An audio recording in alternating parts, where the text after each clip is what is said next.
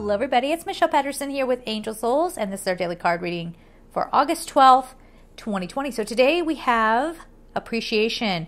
Sunflower and Diana, I don't know how to say this, fritillary or something like that. I don't know. But you can see it there. and this is talking about getting yourself into a different frequency. So yesterday we had luck.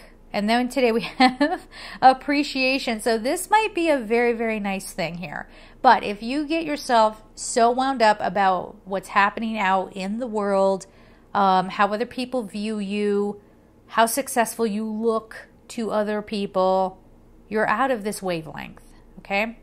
So this can be a very helpful practice. Gregg Braden talks about this all the time about appreciation being one of the words that can help you get in touch with your heart space. So, putting your hands over your heart, doing deep breathing, and I believe he says it's appreciation, caring, um, compassion, and gratitude.